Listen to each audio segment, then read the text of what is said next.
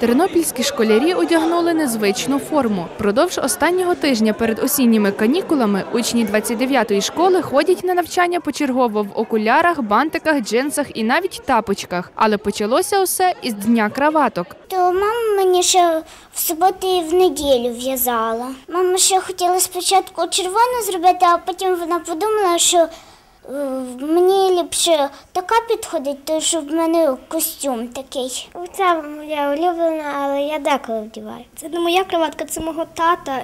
Це ще дуже давня кроватка, і тут написано Моя дружина і дитина найкращі в світі. Це кроватка татова зі Львова. Це коли він був студентом, то ще він тоді її вдягав. Ідею проводити кожен навчальний день у тому чи іншому аксесуарі подав учнівський парламент школи. Дрес-коди обирали на власний смак. Краватка це є признак солідності, ділового стилю, і тому в понеділок ми вибрали краватку, щоб весь тиждень був діловим.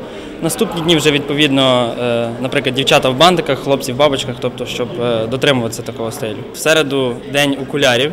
Ну, ми так вирішили, вже літо закінчується, і тому, так як то кажуть, останній, е, останній іскорка літа. Немає такого, як найцікавіший, всі цікаві. Ну, напевно, день тапочків і день галстуків це також цікаво було. В джинсах. Хотів. Е,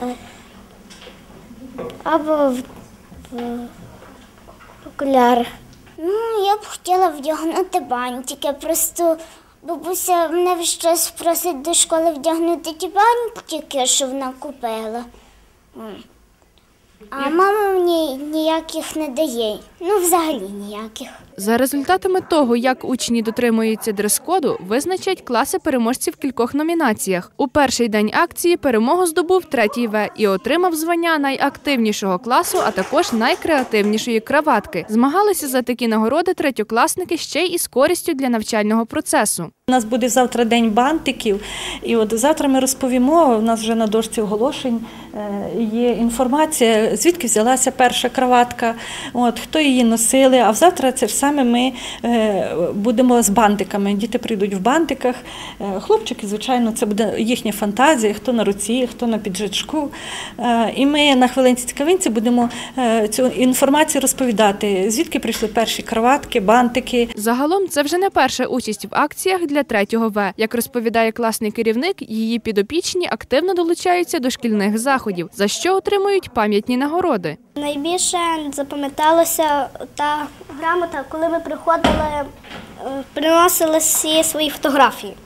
Ось там дуже цікаво подивитися, хто як відпочивав і куди їздив. Щоб акція принесла не тільки задоволення, а й користь, організатори вирішили об'єднати її зі збором грошей для дітей, хворих на рак. Добровільні пожертви дають учні та вчителі, які не дотрималися дрес-коду. А в останній день акції гроші платитимуть ще й ті, хто запізнився на урок. Суму внеску кожен штрафник визначає самостійно. Проте, зважаючи на попередні благодійні акції в 29-й школі, жертвують переважно немало, розповідає директор навчального закладу Анатолій Ятищук. От і цього разу хотілося б зібрати для онкохворих якомога більше. Основне це збір оцих коштів. Що назбираємо, будемо бачити в кінці тижня, вже після цього останнього дня. Є відповідний рахунок і гроші будуть перераховані на цей рахунок. Такими доброчинними акціями, зазначає директор, в учнів намагаються виховати почуття людяності, гуманізму, розуміння складних життєвих ситуацій.